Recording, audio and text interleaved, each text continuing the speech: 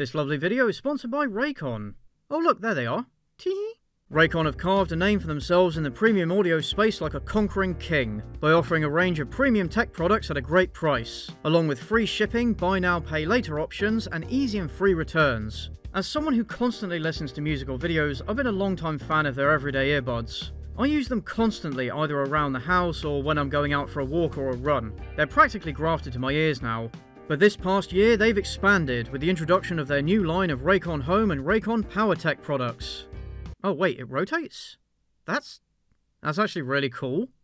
Whee! Oh look, it's that time of year again when we have to listen to this song 50 times a day. I wonder if there's something we can do to make this easier on ourselves. That one's perfect for the Swifty in your family, am I right?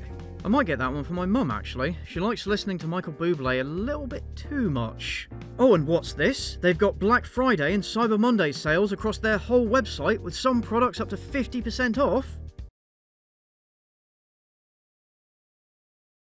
You can save even more with these limited time bundles. These are the biggest holiday discounts Raycon's ever done, but they're only available for one week, so be sure to get yourself a deal by November 27th. So click the link in the description or go to buyraycon.com slash cynicalreviews to get up to 50% off site-wide. And of course, to help support this lovely channel.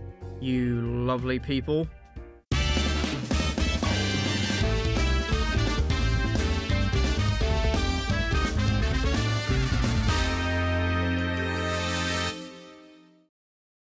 What do you think is the scariest thing in the world? Just picture it in your mind for me. If you said gay people, you would be correct. Can you imagine if the whole world were run by gay people? well, that's the premise of the anti-bullying film Love Is All You Need, a short film that depicts a world in which being homosexual is considered the norm and heterosexuals are a persecuted minority, which I'm sure is someone's fetish. And it's basically the this is the future liberals want meme. There's a question mark at the end, so am I supposed to call it Love is All You Need? Well, I'm not going to do that because that's going to get really annoying. It was originally produced in 2011 with the intention of being shown in schools. One teacher actually attracted an uproar from a bunch of pearl-clutching homophobic parents, who were mad that their kids were being shown a film which had the audacity to suggest that gay kids maybe shouldn't be bullied to death. The film was leaked onto YouTube in 2013, where it went viral, gathering over 30 million views. Given what we're about to discuss, I doubt that virality was generated for the right reasons. The creators put a positive spin on this though, and on the back of this newfound audience, writer and director K. Rocco Shields decided to crowdfund the creation of a feature film, which would expand the story and reach a larger audience. Despite all six Indiegogo campaigns for the short failing miserably, and both the Indiegogo and donation page for the movie having disappeared into the ether, they were somehow able to raise $3.6 million. The resulting film was released in 2016, and I would really like to know where that money went. The purpose of Love Is All You Need was to serve as an educational tool for school kids. The idea being that if homophobic bullying was turned on its head, the shoe put on the other foot, it would serve to illustrate just how ridiculous, unjustified, and harmful such bullying is, and thereby help to reduce discrimination against LGBT people. If our world was reversed, and people that are straight were actually gay, and people that were gay were actually considered straight, I wonder if portraying a story like that would actually show people how ridiculous this all is. And it's not like I disagree with that message at all. Homophobia and bullying are both indeed bad. Hmm, yeah, it's very daring today, aren't I? And I don't doubt the creators' sincerity when they say that they were inspired by real life bullying incidents and wanted to put an end to them. There's nothing wrong with being an activist or having good intentions, right? But you do need to have something solid to back it up. I think if you're going to have a message in something that you make, you need to convey that message as well as you can. But you also need to have a good product first and foremost, and you need to make sure that you're not just bludgeoning your audience over the head with it.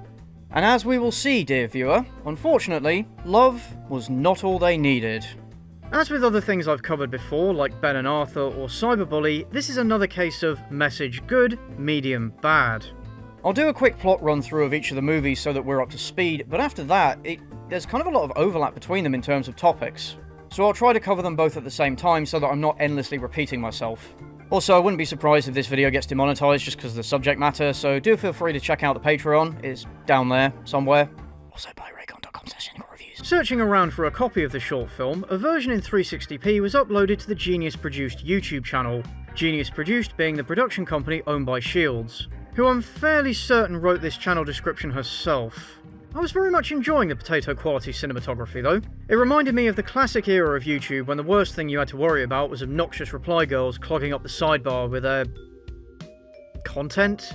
However, a better version was eventually uploaded to Shields' channel about a year ago, with a certain scene that we'll be discussing later removed. So fortunately we don't have to develop myopia in order to... uh... Enjoy it? The story follows Ashley, a straight girl born to lesbian parents who has a happy childhood but eventually realises that she's not like everyone else. At one point, she and her friends play house, but they're disgusted by the suggestion that they play mummy and daddy instead of mummies and daddies. Her school has a production of Romeo and Julio, an alternate version of Romeo and Juliet, and the other kids make fun of her for wanting the role of Julio to be written for a girl so that she can play it. Her parents want her to play football because in this world it's girls that play football and boys are into theatre.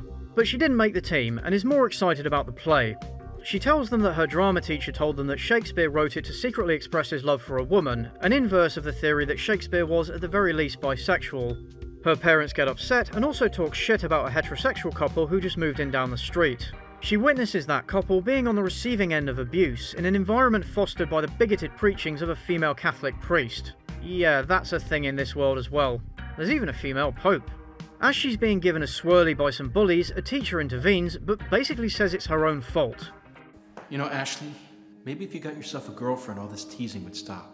While struggling with feelings of self hatred, she receives abusive text messages, and then meets up with the boy she likes in an empty auditorium. He talks about how his brother found out about them and how his family is very heterophobic. They go in for a kiss anyway, but get interrupted.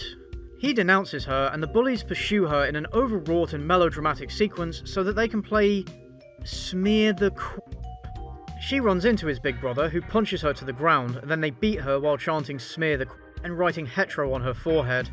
When Ashley arrives home, her parents get into an argument because the more bigoted mum thinks it's their fault. While she's lying in bed, she gets bombarded with more abusive texts, although a lot of them are from the same people over and over again. Someone even drives by the house to shout abuse at her, and at this point it's like, okay, we get it. In the face of all this pressure and abuse, she decides to. How do I how do I say this in a YouTube friendly way? What even are the guidelines nowadays? Um, quit Twitter. And the scene is actually pretty graphic. Like, I can't show it on here because it's just too much for YouTube. And bear in mind, this was meant to be shown in schools to, to teenagers, like young teenagers. Surely there was a better way they could have done this? And this film does not have a warning. Like, I, I guess it was made before those were a thing. So yeah, if anything like that does trigger you, make sure you're watching that G-rated edit if you do want to check it out for yourself. I think this film is a teacher's dream. You know, I'm not so sure about that one, actually. And the scene goes on for so long. Considering the short is only 17 minutes long, the self-ending bit lasts almost three of those.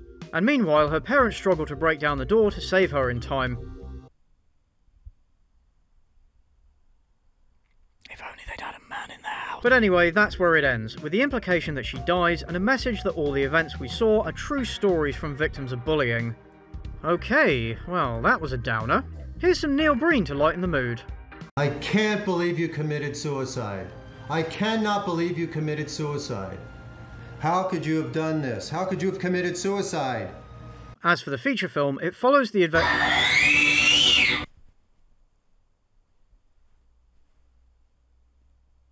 Anyhow, the feature film follows several characters and their plot lines, although some are far more developed than others. The two primary ones are Emily, who takes the role of Ashley from the short film and whose story follows a lot of the same beats, although now she's younger, so the things that happen to her feel more messed up. And then there's Jude, the quarterback and star of the football team, who is currently going through an identity crisis. And yep, this is one of those films where young students are played by 30 year olds. At a party, she starts talking to Ryan, who's a pledge for a fraternity and wants to write an article about her. The frat leader's jawline is putting in some serious work. Emily's mother takes her to meet their new neighbours, who turn out to be a heterosexual couple. Oh no! Disgusted, she quickly drags Emily away.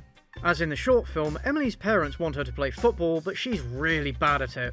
But she bonds with the water boy, Ian. Yeah, told me I was so uncoordinated. Even Jesus wouldn't want to play with me. Jesus Christ, that is a fucked up thing to say to a child.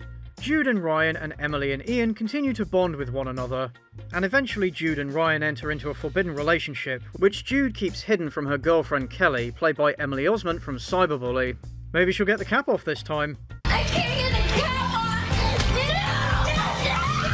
on! But she does give us arguably the best scene in the movie. Emily's drama teacher is rewriting Romeo and Julio as Romeo and Juliet. She and Ian want to audition for the title roles. Ian's heterophobic sister bullies her for being excited about it, and later she and her friends send Emily a bunch of abusive texts, as in the short film. I'm gonna have to come up with a better way of saying that. Ryan takes Jude for a ride on a carousel, and I'm sure there's an innuendo there somewhere.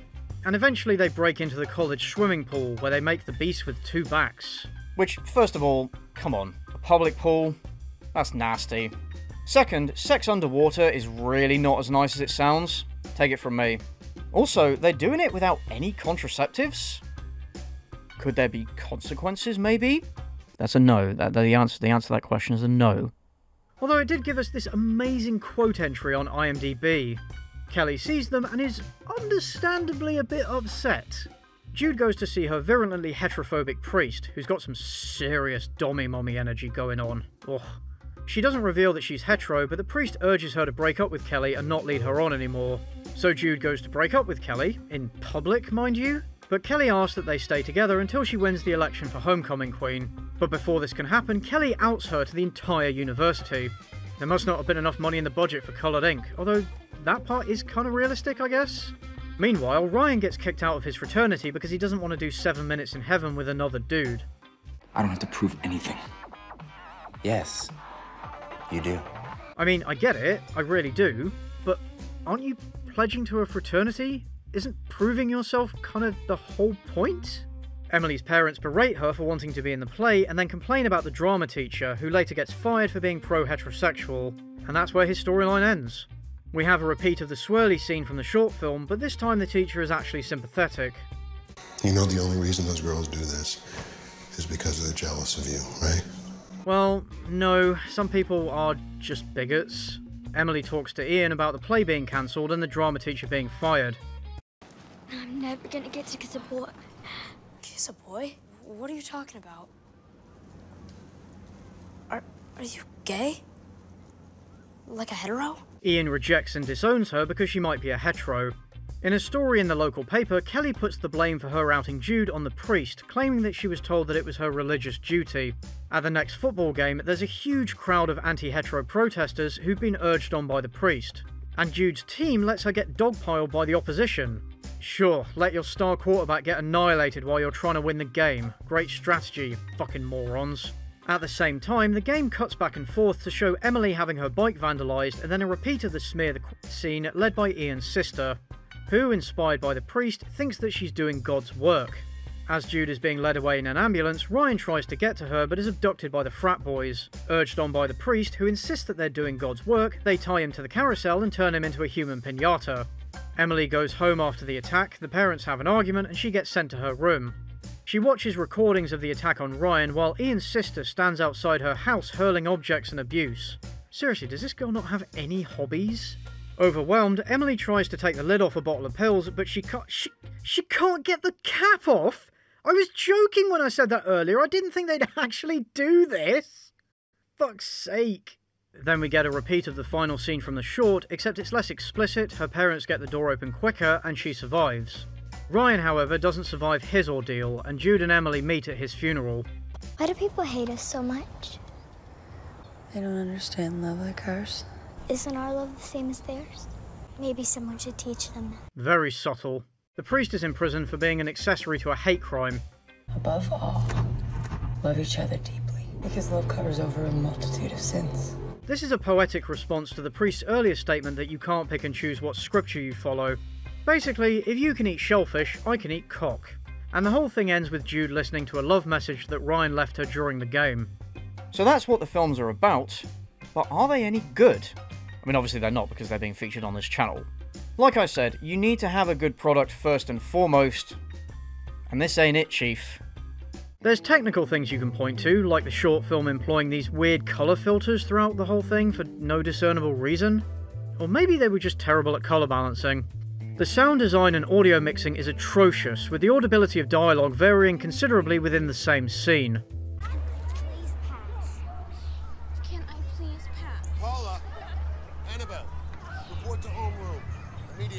Mr. Thompson. Thank you. Far too many times, the music is too loud, so you can't hear what the hell they're saying. Porter's got game. It's also often either cliched or inappropriate for the scene. Or sometimes cuts out abruptly. Did you go to religious university? Well, it was the only. The dialogue contains words that might be said in actual conversations, but is often written, structured, and delivered in ways that make them feel wooden and inauthentic. Ashley, did you tell your mom that you got cast in the school play? School play? I thought we decided you were trying out for the football team. The acting is pretty dog shit. What are you doing? Get away from me! Ian. I don't know why she keeps touching me like this. I was just trying to be nice to her. I hate you, Ashley Curtis. The movie is so poorly paced and boring that it feels twice its two hour length and does nothing to justify that extra time. It doesn't do anything that the short film doesn't and takes seven times as long to do so. My purpose is to make this film because I Could have fooled me. Quite a few scenes drag on far too long or are completely unnecessary. They lingered so long on this kissing shot that I started to forget what website I was on. And about halfway through the runtime, the movie starts employing a non-linear structure, flashing forward to after the current events multiple times without making it obvious that that's what they were doing. It was a little confusing. And this thing. What is this thing? Like seriously, this isn't a bit, this this is actually in the movie. What the hell is this thing? Did they order their mascot from Temu? Although let's be real, the movie would have been much improved if this DeviantArt Sonic OC reject was in the background of every scene with no explanation. Maybe he could be like the straight monster or something. And just from a writing and world building perspective, Love Is All You Need is really quite disappointing. They only changed one thing, but they really didn't unpack all the consequences of that change. I understand why they wouldn't do this in the short film because they didn't have time, but as the director herself proclaimed, she wanted to elaborate more on this world. By making a feature version of the short, this allows us to reach a larger, more diverse audience and go more in depth into the reversed world. But then they didn't? The world building in this scenario is half assed, to put it mildly. Even ChatGPT would have produced a more inventive script than this. This scenario is basically just opposite day. It really is Adam and Steve in this universe, and that's as deep as it goes. An intriguing premise quickly becomes boring because they just don't do anything with it. Having a society where being gay is the norm raises a lot of questions about how such a society would function or how this change would influence human behaviour, almost none of which is explored. Like how would bathrooms work in this universe? Part of the motivation for gendered bathrooms is not wanting to be around others that might be attracted to you, right? Would men and women still choose to mostly hang out with their own sex despite this change in everyone's sexuality? Do frat parties just turn into massive orgies now? And I'm sure at least some of you have been pondering this question. Daddy CJ, if everyone is gay, where do the kids come from? Well, dear viewer, I am so glad that you asked. Apparently, they have a breeding season. It is an abomination for a woman to lie with a man outside of the breeding season. You know how during the, the breeding, you know, the periods, uh, breeding periods, when a couple agrees on having a, a child, um, they, well, in order They're to talking have about the boys kid, who they do go it to girls. uh, a, a woman and, uh, and a man. and- In humble donation during the breeding season, so new sons and daughters can be brought forth. And no, they do not elaborate on what that involves. For many of you, this will mean much less breeding. For me, much, much more. As in real life, religion plays a big role in fostering the bigotry. But it's so strange and nonsensical that they would still have a big focus on life and the family while also stigmatizing the activity that creates life. In fact, the idea that any successful religion would denounce an activity necessary for the continued existence of the human race is kind of insane. And I'm not saying they're right, and of course the point of this scenario is to show how ridiculous the bigotry is, but in this case it doesn't work in reverse. I've already put way more thought into this than the writer did, and I think if I try and do any more, my brain's gonna fall out my ears. And I'm sure some of you are thinking, oh, you're just being nitpicky, like this stuff doesn't really matter. Well, maybe. But I'm a fan of dystopian fiction, alright? I love when this stuff is done well, and I don't when it's not. Okay? There's a few other fumbles when it comes to the writing. Um, heterosexuality is the leading cause of teen suicide, and these. Um, I'm not really sure that's how you wanted to phrase that. And while the things that happen to Jude aren't justified at all, my sympathy is a bit more limited due to the fact that she's actively cheating on her girlfriend. I mean, it's just not really a good look, is it? You need to go and let her know. And then you bring your new girlfriend here. Together, we're gonna pray together for forgiveness because deceit is a sin. For fuck's sake, you're not supposed to be making the raging bigot look good. That was your one job. But what about the themes? The themes! Look, something having good themes doesn't automatically make that thing good, and doesn't redeem it if it was already bad. And it's not like I disagree with the themes of Love Is All You Need, I just think they could have gone about conveying them in a more effective way. Like by not being unintentionally funny. You shouldn't be friends with her. It is perfectly okay for boys to be friends with girls. No, it's not. Turning things on their head is a fairly common form of absurdist humour, with the jokes being derived from how ridiculous the inverse situation is to the norm. The problem with Love Is All You Need is that it ends up having this humorous effect without trying to. So this is the little bait that tried to hold my brother's hand. Look, maybe I'm just sick in the head, but this feels like a comedy sketch. Am I wrong? You know, Ashley, this school has a zero tolerance policy for this kind of behavior. Imagine if your mothers had seen you holding hands with a boy in public. Like, how am I supposed to watch this and take it seriously, you know? I don't I don't know how the kids watching this kept a straight face. Speaking of faces, watching a kid get punched in the face in a hate crime shouldn't be funny, but it is here. But what really doesn't help are the slurs that they came up with for heterosexual people. Before I knew they were Rose. What's a row? What are you, Emily? Some kind of row? What? No. Why are you acting like such a candy ass row, huh? And you're never talking to that ugly row. You can run, you little row! But you won't get away! Row is clearly meant to be short for hetero, but it sounds so stupid. Row, row, row, row, row, row, row, row, row. It would be like calling a homosexual a mo. But it gets worse. The other slur that they use is breeder. That's really disgusting. What are you, some kind of breeder? We don't play with breeders. Telling everyone that you're a disgusting breeder. You friggin' breeder. Do I even need to comment? Sometimes they give up and just use the F slur. Breeder! And to muddy the waters, they call being straight gay. I, I, um, I'm not gay. Which does get a little confusing. And the way the films push the message in your face is really quite obnoxious. It's worse in the short film, but that's only because the long film is padded out with so much pointless stuff. I don't doubt them when they say that the events portrayed are things that actually happen to LGBT people, because a lot of the discrimination and abuse that we see absolutely does in fact happen. It's far from unheard of for homophobic parents to not want their kids around them. Ashley, I want you and Cooper going around the other way to school. But that's twice as long. I don't care. I'm not gonna have you exposed to that perverted lifestyle, men and women living together. It's a sin. It makes me sick just thinking about it. It's so revolting. For them to be victim blamed and told that it's just a phase they're going through. This is just a phase that you're going through. You'll grow out of it. To be denounced by religious authorities.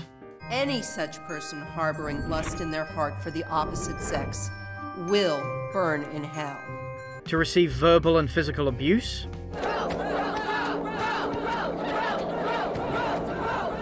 Have homophobes show up to protest at their funerals. And being at higher risk of mental health issues and deleting their life accounts. Yes, all these things do happen, and I'm aware that they're being put in to demonstrate a point. But so many of them happen within such a short space of time that it becomes ridiculous and actually detracts from the message by being unbelievable. I feel like having the entire town conga line up to rag on her like that scene in Airplane is actually detrimental to the point you're trying to make. And Ryan's beating scene gets dragged on so long that I felt like I was watching The Passion of the Christ, but with shittier music and fewer demon babies. After a while, it just starts to lose its impact. Quite literally, in this case. Ultimately, it's just all so unsubtle and overbearing. Like, I'm sure there are ways to educate people without metaphorically slapping them in the face with a baseball bat. The short film comes across like one of those cringy Dhar Mann inspirational films. But not inspirational, actually, it's way more depressing. Maybe there's a hetero heaven. And the long film is what happens when you try to take that butter and spread it over too much bread. Again, I don't doubt the sincerity of the creators, but there were a couple of things that did kind of rub me the wrong way. Like calling your production company Genius Produced feels, I don't know, it just feels a little bit conceited. And why would you say that Genius doesn't care about accolades, but still show all of the accolades you won for the short film? It's like you're trying to have your cake and eat it too. There just seemed to be a lot of patting yourself on the back going on. And I'm not trying to shit on anyone that these films have helped, whether it's because it changed their minds on this issue or because it gave them comfort in their own bad situation. But I don't think Love Is All You Need was ever going to convert that many people. A committed homophobe will probably look at this and go, yeah, but it's not the same thing. It's fine when we do it. It reminds me of that scene in Cyberbully. You've been called a slut and a whore, really. There's fairy, fruit, homo, too gay to live. Yeah, but I mean, it's not really the same thing. I mean, you really are gay. What they're saying about me isn't true. Or maybe they'll think, see, this is what they do if they were in charge, so it's fine for us to do it to them. Which is genuinely how some of them think anyway. Putting yourself in another's shoes, as this film is trying to do, can of course help to foster empathy. It's why I think everyone should work in a customer service job for at least a few months, so they've got no excuse to be a raging Karen. But maybe this is just me, but I feel like you shouldn't have to do that in the first place. You shouldn't have to literally be in someone else's shoes in order to recognize that an injustice towards them is wrong. You don't have to be a slave in order to think that slavery is wrong. For me at least, I, I feel like that's where true empathy lies. I think these films would have worked better if they just played it straight, so to speak. Just show things as they actually happen. Stuff like Boys Don't Cry, or even Valerie's subplot in V for Vendetta do a much better job at humanising LGBT people and thus generating empathy from an audience. Although of course those weren't intended to be shown in schools. And if it weren't for the premise of a dystopian world run by gay people, no one would have paid any attention to these films, and I probably wouldn't be talking about them. Love Is All You Need is far from the worst or most cringeworthy thing I've explored, but it's still a misfire that's good for a few laughs and lessons, and I haven't really seen anyone else talk about it on here. It's a good example of a good message does not a good movie make. Still, it is a good message, so better luck next time. If there is a next time. But did you really have to call them breeders? Hey folks, thanks for watching, hope you enjoyed it. If you did, do consider becoming a patron or YouTube channel member. You'll get early access to ad-free and uncensored versions of videos, as well as a mention here in the credits. Thanks again to Raycon for sponsoring, buyraycon.com slash cynicalreviews, do check them out. Check out my merch store, join my public Discord server, and all my social media is down below. Thanks again, and I'll see you in the next one.